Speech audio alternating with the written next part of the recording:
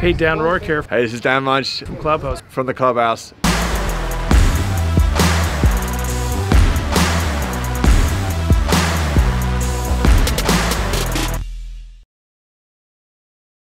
We're checking in to see what's going on with Darcy and Christina at their flip in Fulton. with a property that we bought for them back on March the 2nd. Blood, sweat, tears. Hoping to get an update of what's gone on since the winter. We're going to check out this flip that we successfully bought for Darcy and Christina.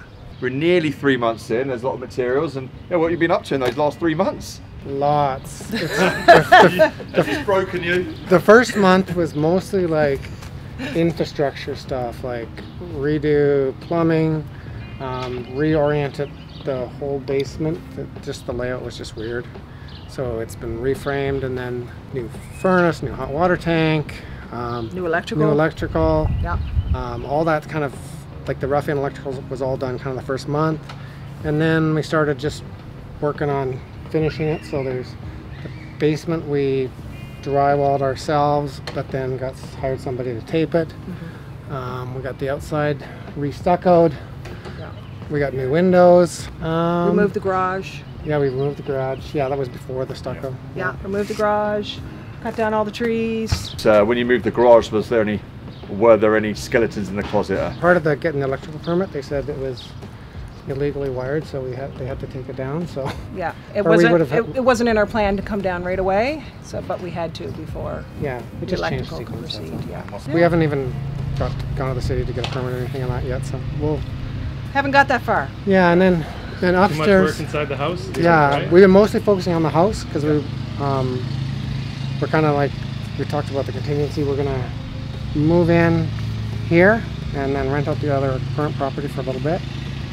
Um, but we want to get the house ready so we can live, and then we can do the outside while we're living here for the summer. Yeah. and on a project of this magnitude, what would, uh, what would you do differently i- if, uh, if you had started from scratch again? Ban ban the the- virus, because being isolated to your host, especially where he's working from home. Yeah. and That's then- actually worked out good Yeah. because we live like a kilometer away. Yeah. I just come over if I have to.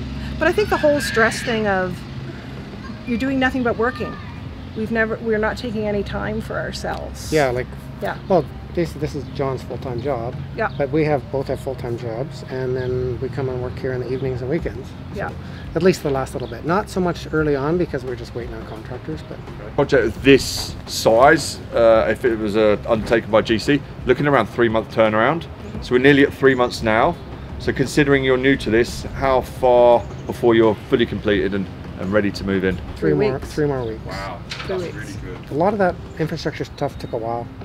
Because you know we had to pound out concrete, and I've put a lot more labor into it than I thought I would too. Yeah. Like, and that's we don't count that time and money, but No. it's it's been a lot. Like especially the last three weeks. There's not really a whole lot to do because once we're living here, then we can focus on the garage, um, getting a fence, Yeah. and uh, sprucing up the yard the way we want it. How do you think it's shaped up now that you're actually doing some renting and some, some moving? I mean, was that the, is this uh, is this working out for the better or is this It I guess it depends what you assess this house in a month. Yeah.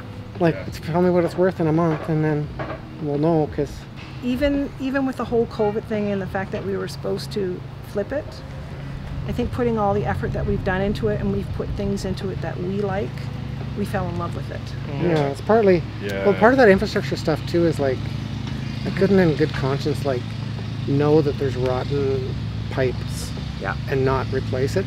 In the long run, regardless of us staying here, somebody and buying, at least you know you did it right. Yeah, Yeah, you, exactly. you shouldn't. Yeah.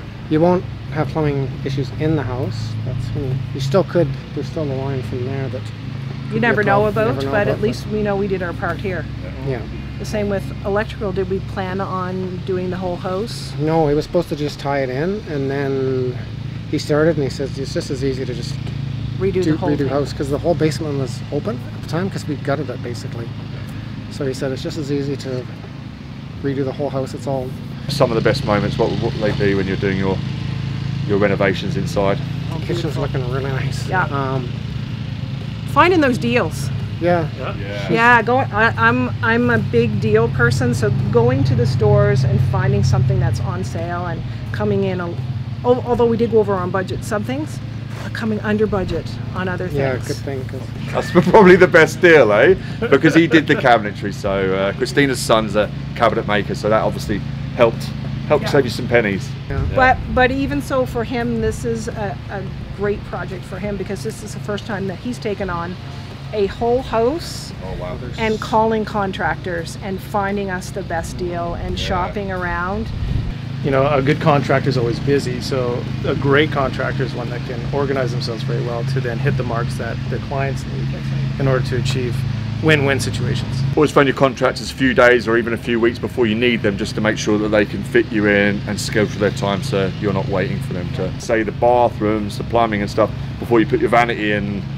Then yeah, it could hold you back. So We saw some flipping activity here in Fulton with Darcy and Christina. so if you like what you see on this video, If you're interested in flips like this and projects like this, communities like this, come and reach out to us. you can give us a call 780-222-2513 is my number you can also email me at munch at clubhousegroup.ca Visit us on our website at uh, clubhousegroup.ca. If you want to reach me, Rourke at clubhousegroup.ca. see us